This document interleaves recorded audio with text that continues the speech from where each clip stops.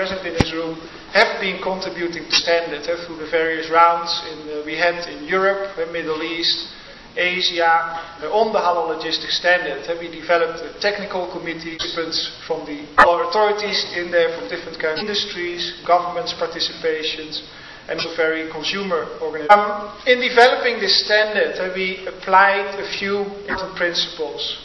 First of all, uh, we have the intention, uh, we have the intention to develop a global standard on halal standard, uh, which makes it possible to secure the integrity, the halal integrity from farm to fork.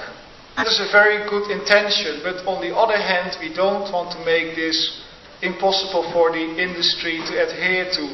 Uh, it should be not creating too much hardship for the industry. It should be a standard which can be applicable to both Muslim and non-Muslim countries. And the definition of cross-contamination has been important. So when is there cross-contamination of halal and non-halal?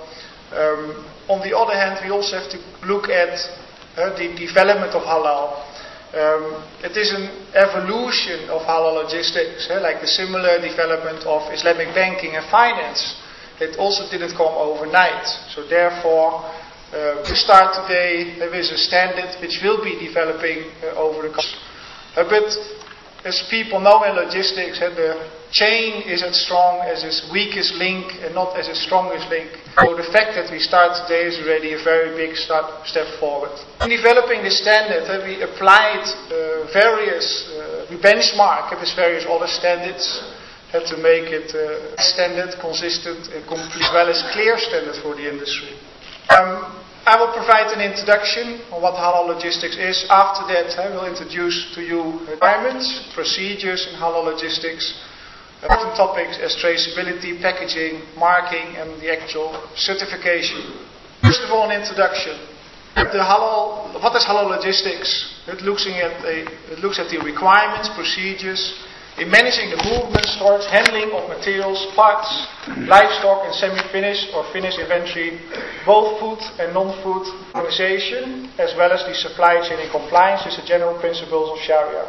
This is the definition if we have put this standard, which has been adapted from uh, a definition of logistics from Martin Christopher. The actual standard, which I will be presenting to you, has three components. First of all, warehouse, secondly, transportation, and thirdly, terminal. And a terminal is an inland port, it can be a seaport, it can also be an airport. This standard applies to these activities in transport, in the warehouse, and the sea and airport. Um, on the other hand, there are also other materials handling activities that happen in the slaughterhouse, in the manufacturing, or at food services material handlings are covered under those respective standards. Developing a standard is first of all extremely important that halal products are segregated from non-halal products. This for three reasons. First of all, to avoid cross-contamination. Cross-contamination, uh, you, can, uh, you can argue that's part of best practice. Uh, also, existing standards uh, will lose contamination. Other components are very important. If we talk about halal as a religion, about avoiding mistakes, avoiding the possibility that halal turns in non-halal. We also that we have to make sure that the system is in line with the expectations and the perceptions of the Muslim consumers worldwide. In this standard, uh, we looked also at uh, comparing it with existing uh, best practices to make sure that the standard addresses both Toyib and halal, so uh, purity and halal. This standard uh, is applicable uh, for various schools of thought, and therefore, um, one example is the ritual cleansing that is specific to only a few.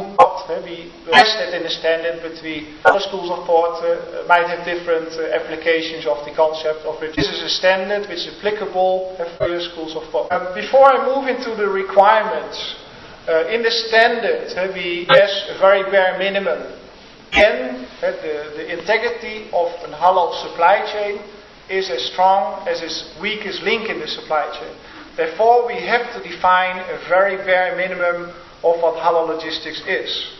Secondly, in the development uh, of this, in the evolution of halal, in some countries, Muslim countries, where they are able to have a higher uh, level of segregation, where it's economically viable, uh, we introduced preferred standards. So we have a minimum standard and a preferred level. So this preferred level uh, we address in a standard with the word should. And the minimum standard we address in a standard with shall. As a shall is a minimum, should is the preferred standard. The moment we go through the requirements as well as the procedure, you will read shall, and shall is the minimum, should is the standard. And in, in mind when we go through the routes. As I mentioned to you, uh, we have three components in this Halal standard. House, transportation, and the terminal. First of all, the requirements for the warehouse. Uh, the organization shall ensure that there is a physical segregation of halal cargo from non-halal cargo throughout the warehouse process. So the basic principle is segregation of halal and non-halal in the warehouse. Second line is we have a preferred standard. So what we prefer, a dedicated halal warehouse. However, that might not be feasible or economical in all countries. So we put in the second line, the organization should have no storage and handling of severe and medium najis in the warehouse. This is called the dedicated halal warehouse. I introduced two terms, severe and medium najis. Uh, severe najis are products like uh, pork products.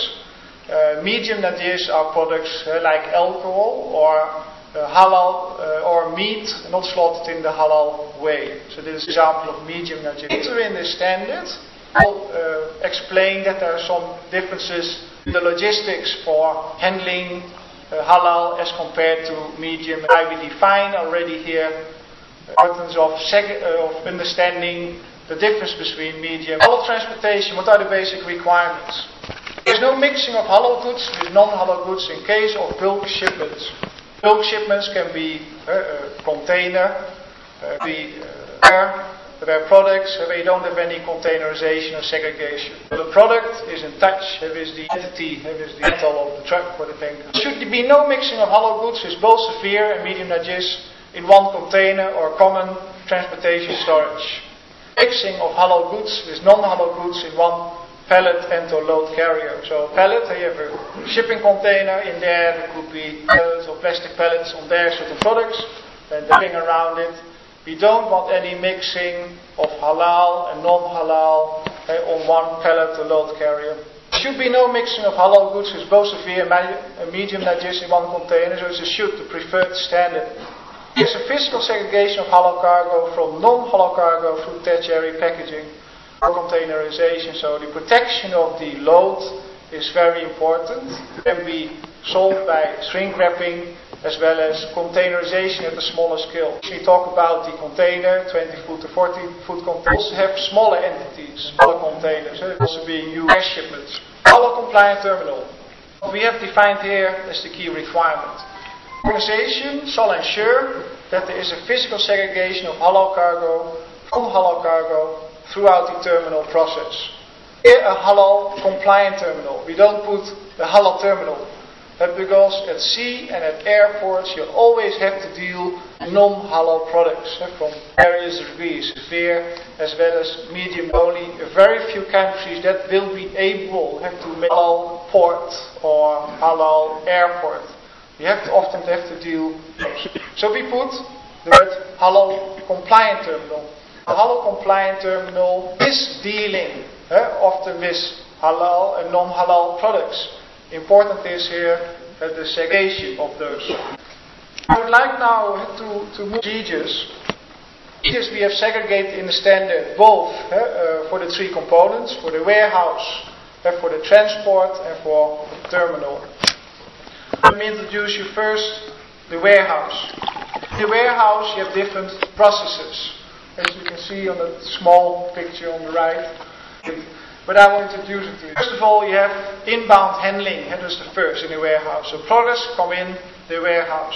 And at the warehouse they can be stored physically for a selected number of days or hours before they are shipped to the final customer. So there's a storage process in there. We also have a cross-dock process in there, and cross-dock means the product is straight away handled at the final destination. It doesn't, it's being stored in the warehouse. We have activities in the warehouse that can happen, uh, like repackaging and labeling, that is called uh, value-added logistics, that's very bottom. Finally, uh, you have outgoing and outgoing shipments, handling of these shipments, we call it these processes are basic warehouse processes. Processes have been defined in terms of how, what kind of procedures are needed to be undertaken in order to ensure that we get uh, talking about the halal uh, warehouse. Um, I will just go through the organization shall ensure verification of the halal status from freight documents before unloading. The principle is before you take products into your warehouse, you want to be sure that you're dealing with halal products. Are uh, taking non-halal products in your warehouse, you find out only later. Eh, it will the cost. Eh, you might have to do tamak, eh, cleaning procedures, warehouse. So you want to avoid that. So before you, uh, you, you take any products in your warehouse, you make sure uh, that you check uh, the documents that it is indeed a shipment. Segregation of halal and non-halal cargo through labeling and marking on pallets that are taken into stock if not already present on uh, that's received. So what you want to do in order to simplify uh, the warehouse operation, to recognize the halal products in your warehouse, uh, the form of labeling.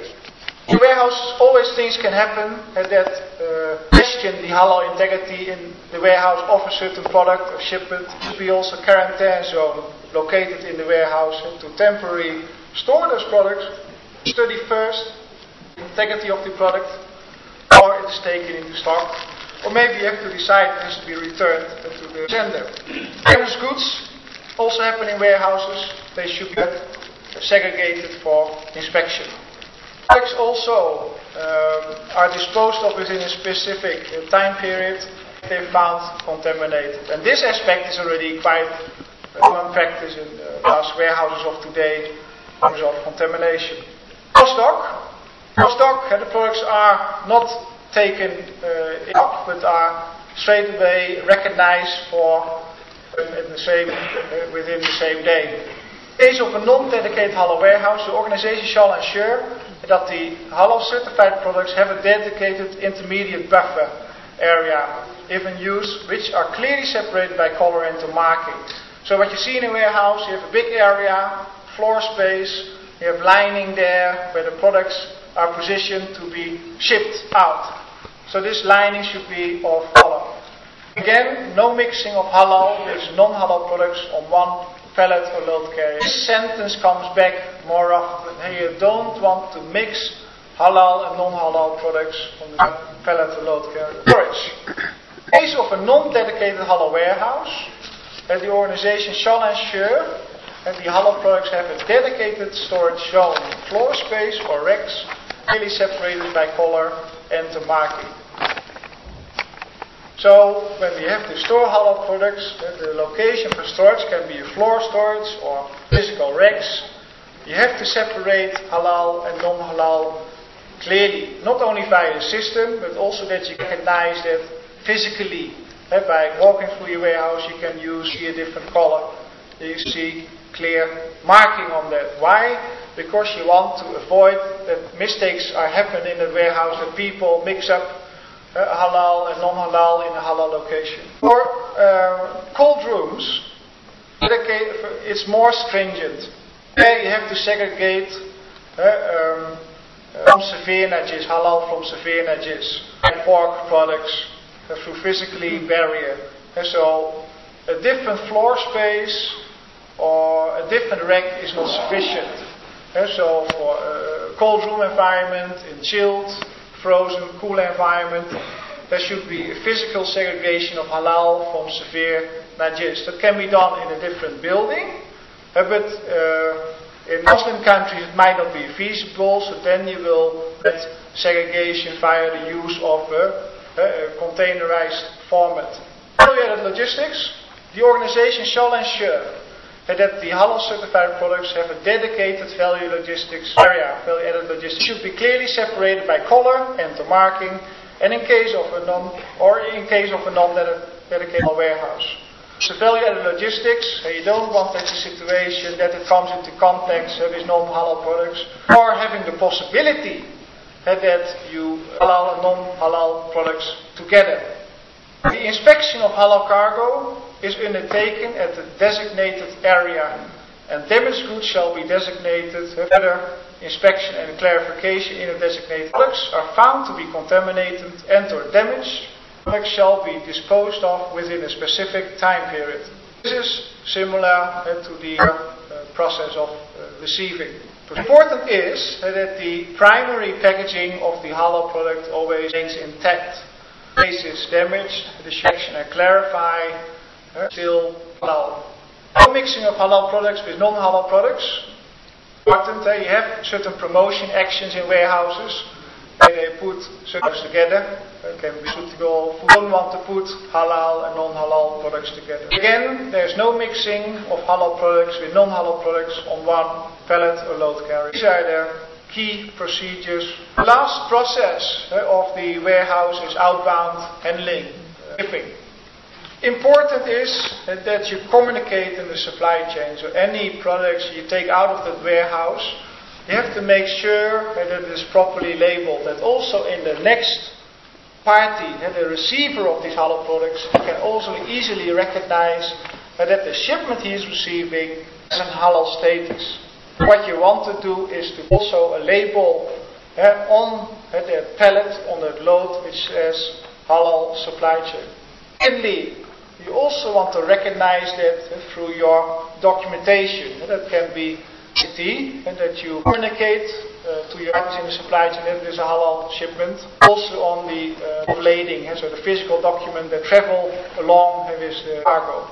Well, the communication throughout the supply chain is very important uh, to supply to understand uh, that have to treat this differently. We have discussed the procedures of the halal warehouse.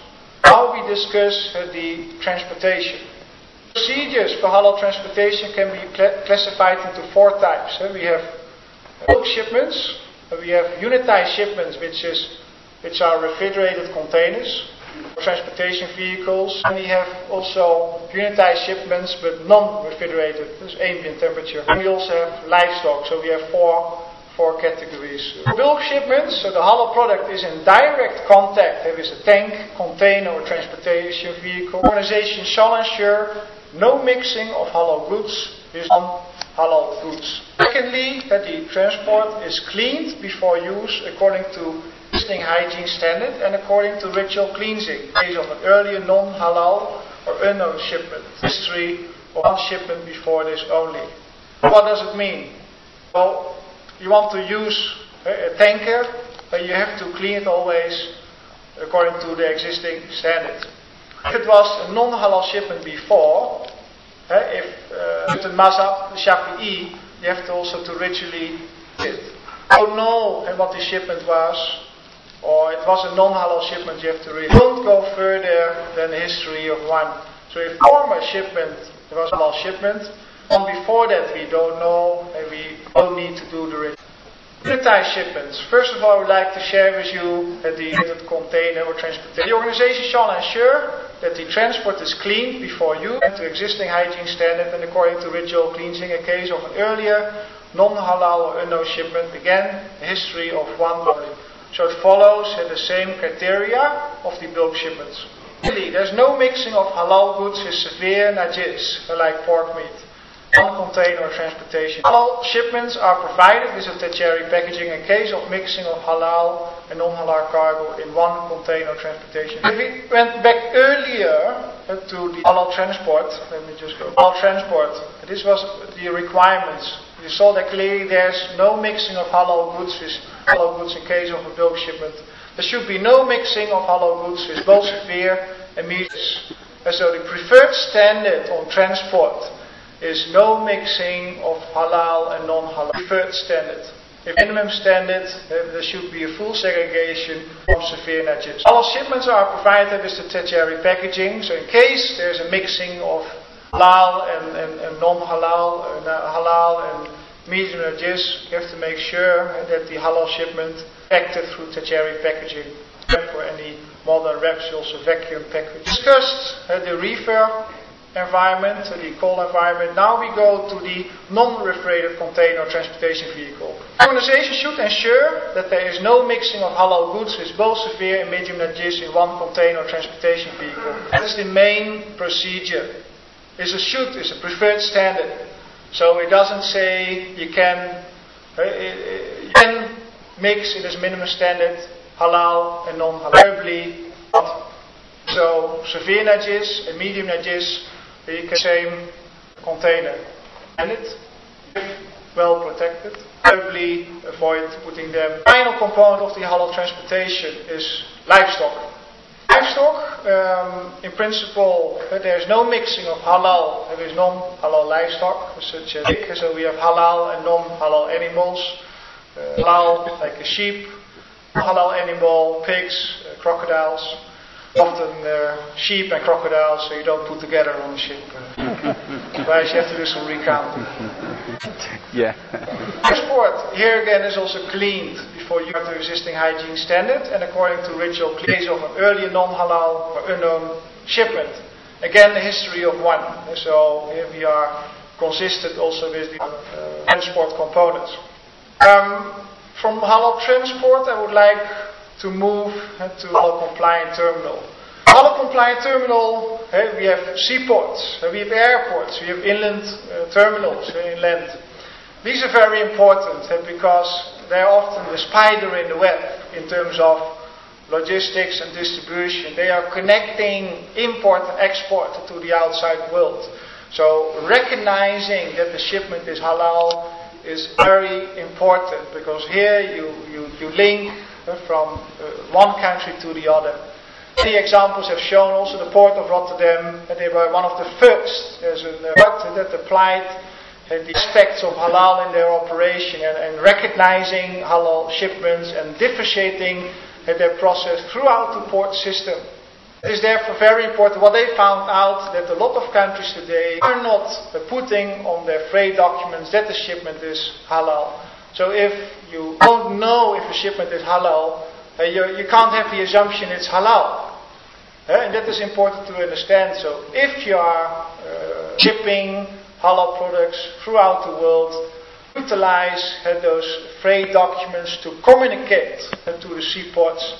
Various authorities in the uh, port, sea and airport, is a halal shipment. Communicating that it is a halal shipment makes segregation possible put it on the freight documents, can't segregate it in a port because you assume it's non-halal. So the series of halal compliant terminal, important especially is the inspection, as well as the value-added logistics. The inspection that covers checking products, and important is here that you use uh, designated areas for this. Don't do it in the same area where the pork products are, are looked at. So you want to have this be done at the segregated area that you can be assured that there's no cross-contamination. Similar to the warehouse, damaged goods shall be segregated for further inspection. Verification in a designated area. Similar to the warehouse is disposed the product within a specific the products are found to be contaminated and to damage. And for the inspection here at the port, the seaport, airport, you have to make sure that the primary packaging of the halal product remains intact.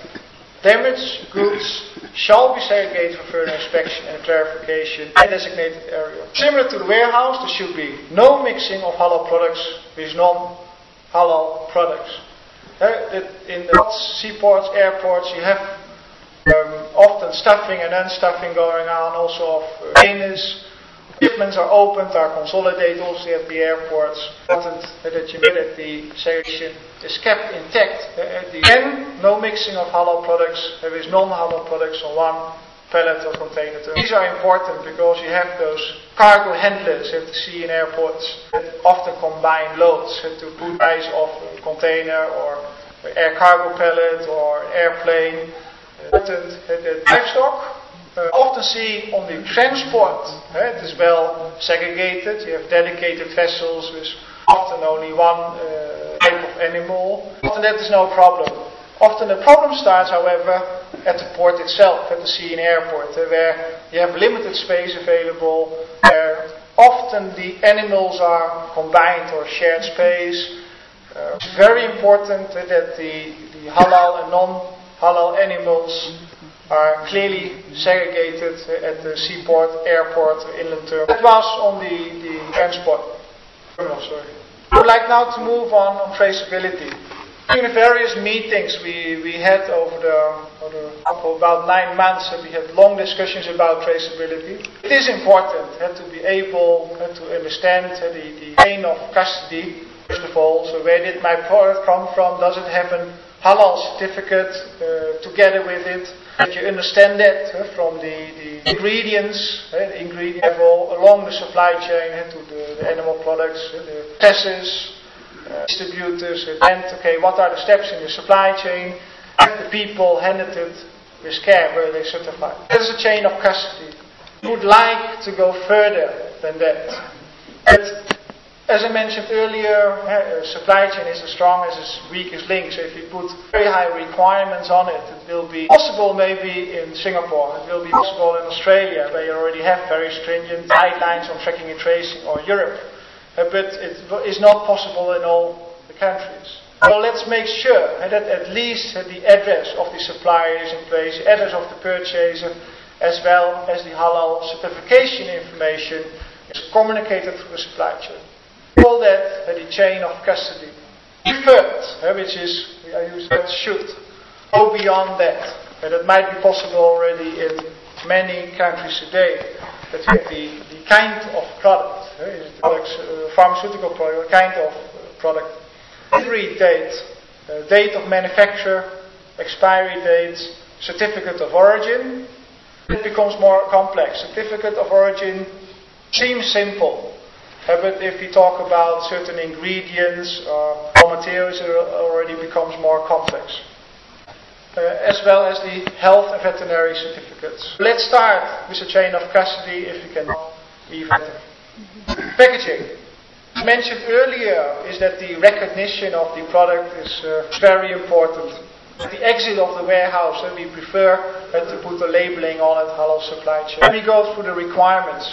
The organization shall ensure that a recognizable halal supply chain mark is labeled on pallet, load carrier, or tertiary packaging.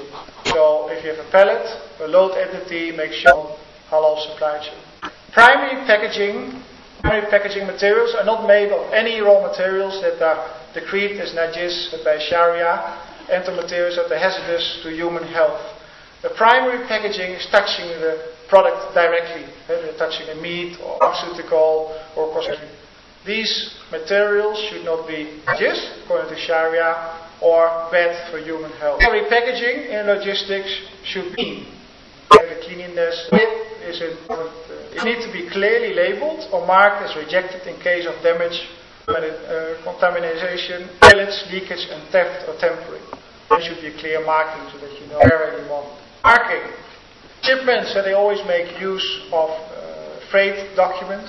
These documents, we like to integrate the term halal supply chain. This as a mark to be clearly put on the freight documents possibly uh, coded uh, so that station, uh, the customs, various parties in the supply chain, like the agents, recognize the status of the certification. Organization, uh, such as a halal warehouse, halal transportation, or halal compliant terminal, shall be audited by a competent halal compliance officer and certified by an accredited halal certification body. All compliance is then maintained through internal or external audits. A halal compliance officer can be an internal officer, a person in the company, or it can be outsourced to other possibilities. This was the standard. I introduced to you the requirements and the procedures. As also Darhin mentioned, that this is standard and operations or iris. I leave now Marcus. I'd like to, uh, Robert, mention traceability from you. What FoodReg has done is really practical point of view. How, how practical basis presentation. I'm talking on behalf of Yakin uh, today. Uh, FoodReg is a partner of Yakin and has been responsible for technology. I'm only going to be here for a very few minutes, uh, so not to hold up uh, the rest of this afternoon.